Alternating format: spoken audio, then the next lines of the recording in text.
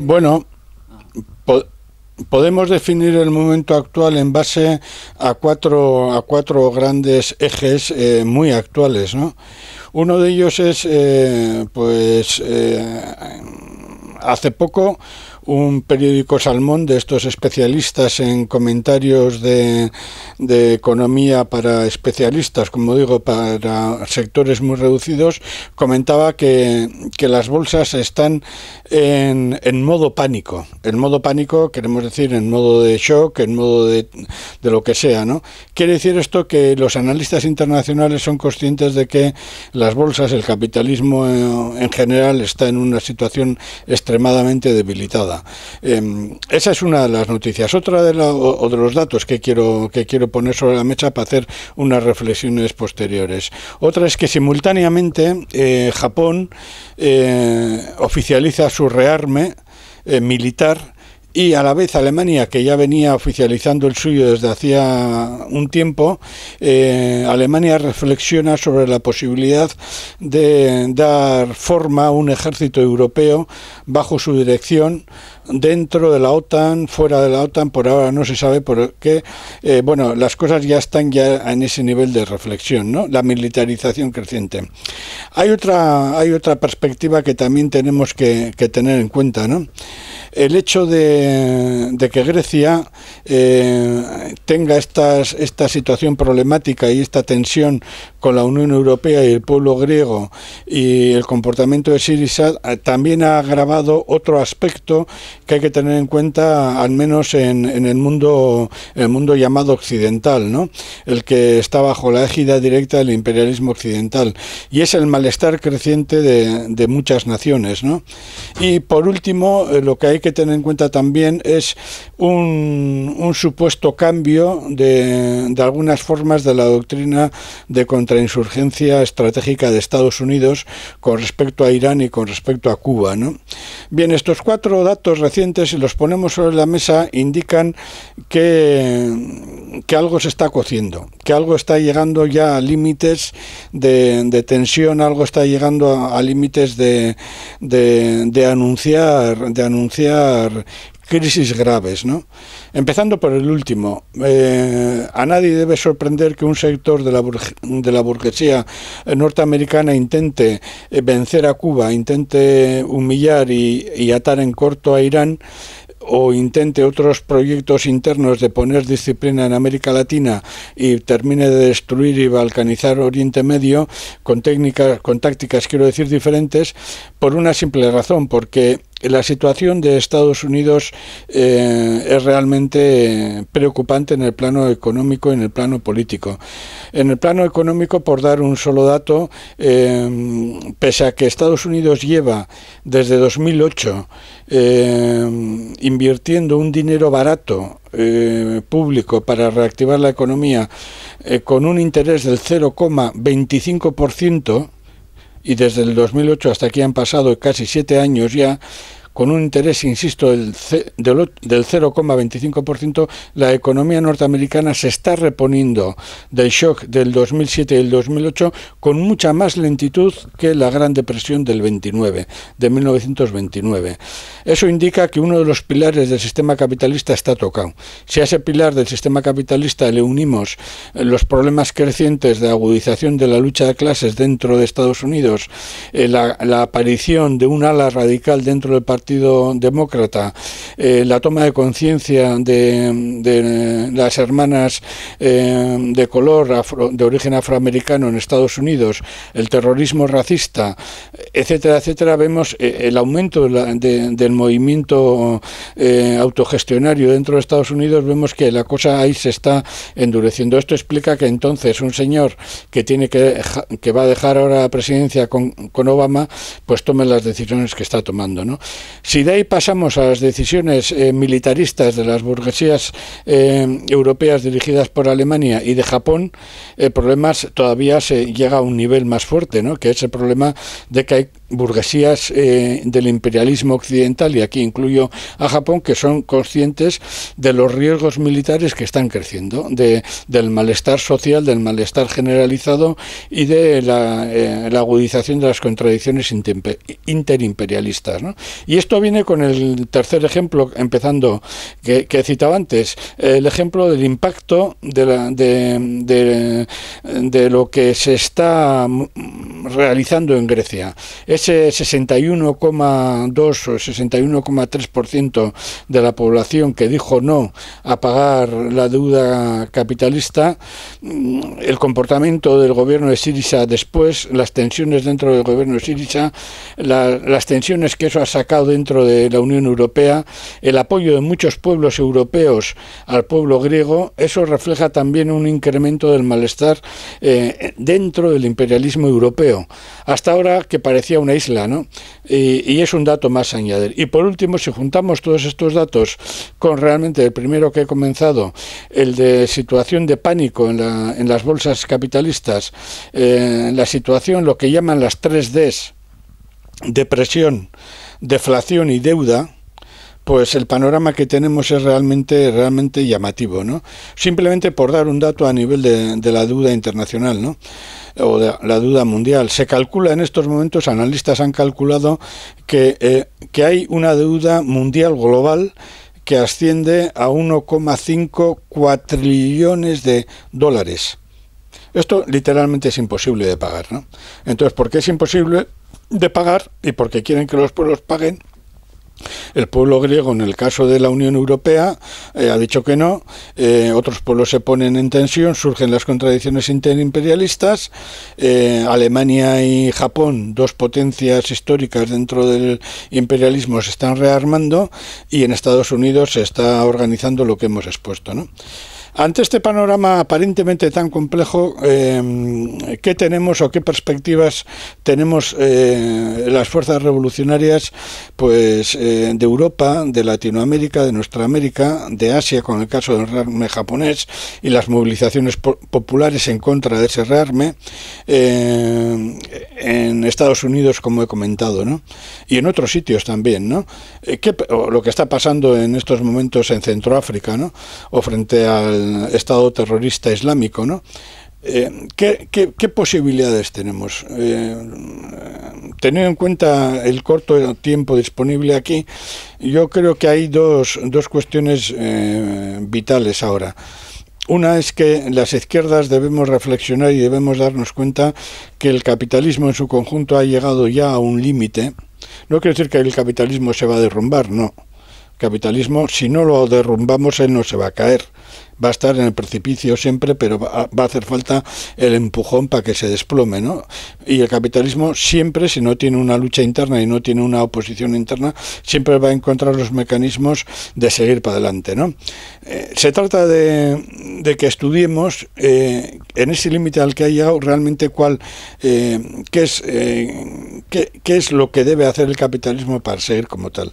Y hay una cosa clara, ya está enunciado en el socialismo del siglo XIX, 19 hasta ahora, que llega un momento en que el capitalismo debe eh, mercantilizarlo absolutamente todo, debe reducirlo todo a valor de cambio, debe reducirlo todo a mercancía, eh, la mercantilización de la naturaleza ya es un dato ya aplastante, ya hemos entrado ya en la mercantilización de la vida, en la mercantilización del genoma, en la mercantilización de la cultura, en la mercantilización de la salud, en la mercantilización de bienes básicos. ¿no? ¿Y esto a qué nos lleva? Pues nos lleva a un, a un criterio que, que trasciende incluso al propio capitalismo. Trasciende y llega al problema de la propiedad privada.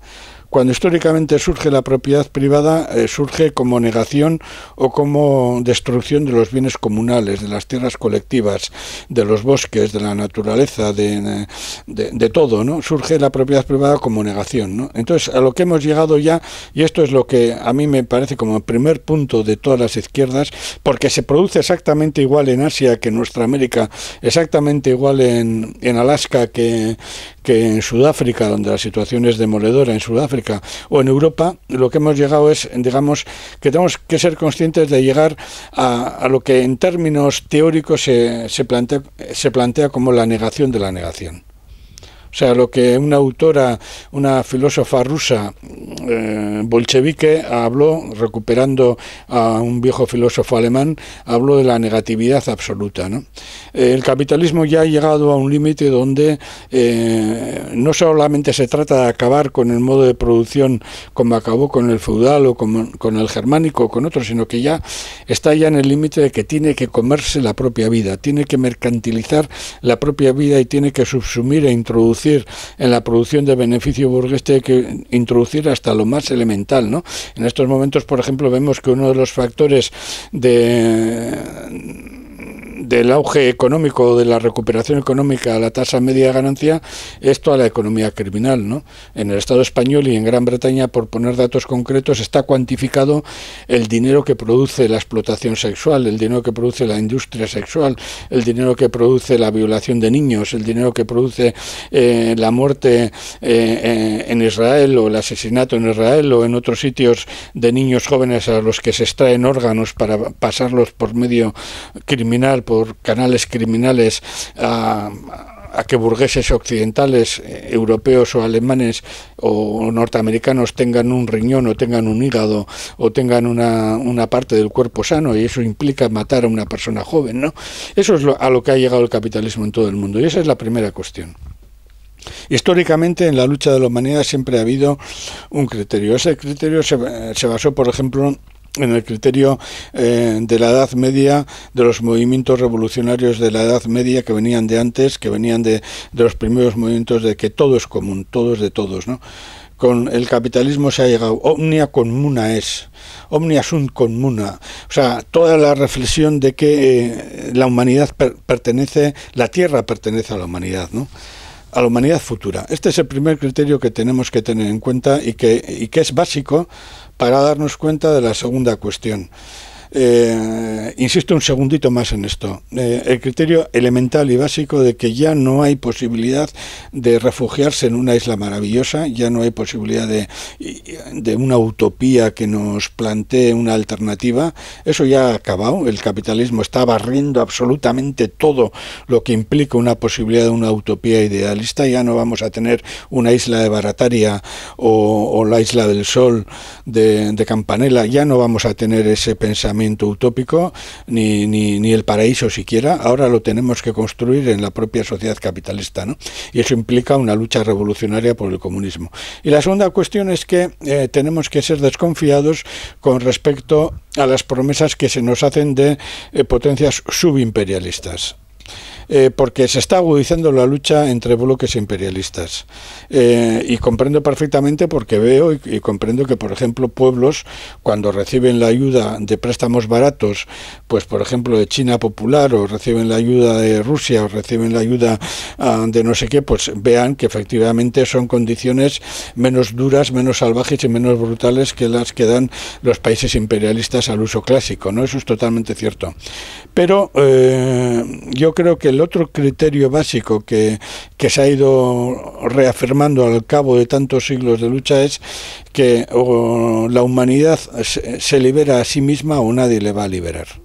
Y esto cuando, sin embargo, cuando eh, surgen voces que plantean que eh, se podría eh, coger fuerzas definitivas en procesos sociales que se están dando de, alternativas al capitalismo desde dentro de un capitalismo suave.